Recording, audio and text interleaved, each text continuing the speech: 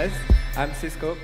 I come from Bristol, UK, and I just got this amazing opportunity to have this flash talk, and why not using it? So I've been challenged once because there was this talk meetup group, and there, there was a UX designer saying, oh, it's all about voice now, and you UI designers, I am UI designers, my, designer myself, and he said, oh, UI de designers are gonna basically lose their job.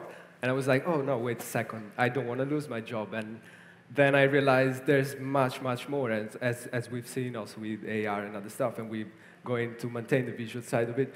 But also, I work in, in a music industry-related company, and we develop voice experiences, developing an AI bespoke for music, and have got some, I don't have any slide, didn't have time to prepare, it was such a surprise, but what's really interesting is that voice bots still have, uh, are going to have a personality, and we can represent kind of personality with visual design and this sort of thing. So there is something in between that I think we are missing, or we are just realizing now, and going from graphical user interfaces to voice user interfaces, I, it's a delicate thing. So what's, what sits in between? I think there's, for a visual designer, I started as a visual designer that get into voice and this sort of things. And what is really important to maintain with voice experiences is motion and movement, so time that comes with it.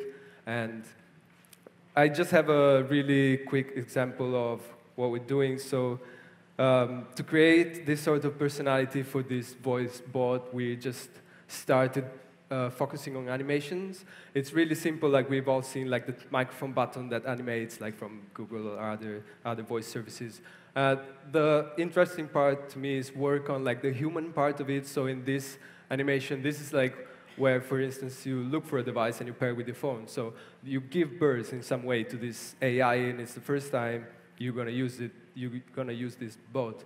So giving the idea of breathing, like the first breath you take. So what I would like to focus on a lot is motion and time and the way uh, personalities from voice bots and others can actually be represented visually also, not in a static way, of course, but in, in a in a animated way. So what are like the different states of the microphone where you have like simple, simply like waiting state, then you have like positive confirmations of the, the microphone. So you can still give a personality starting from the human beings and what emotions uh, tell, tell us about this. It's just when we give a confirmation to another human being, we just say yes. So in, in this, mainly in these Western countries. So just starting from that, we can still work on something and hopefully not lose our job. So this is another example. It's like an error that comes it's like when you shake with the head and say, no, no, I don't want this. And the main source of inspiration, I know it's been used already, but starting on like Kanye West is such a no guy and say no to everything. And this emotion, merging them together, just gave birth to, to this error state. So also, when we're listening, we trying to use to, to emphasize this thing with a color background that changes and give more like emotional impact and uh, other, other states where we, for example, thinking. Thinking is such a human thing, but also machine can think because they're processing information. So why not replicating this kind of thing in a, in a human way? And other main inspirations for this can be like the movement of the Indian guys. Actually, I, I had the opportunity to work with a really good Indian UX designer, and she told me a bit about this, and I was like, well, it's really interesting. So this means yes, but can mean like many other things. So who knows? It's just thinking and just putting things together. And on the technical side, I work mainly with After Effects, but as you can see, this is like the uh, graph like of a timeline from, a, from an animation in motion graphics.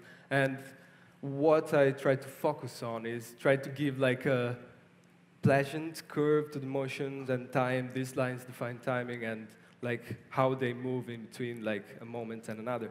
So that can still be really human, even if we work on the technical side. This is not code at all. It's just uh, as using like Illustrator, Premiere, or other softwares, but get into like another deep level of conversation, of animations, and all of these things that can drive bots in a more human, human way. And hopefully, yeah, as I said already, just not lose our job. That's it. Thank you.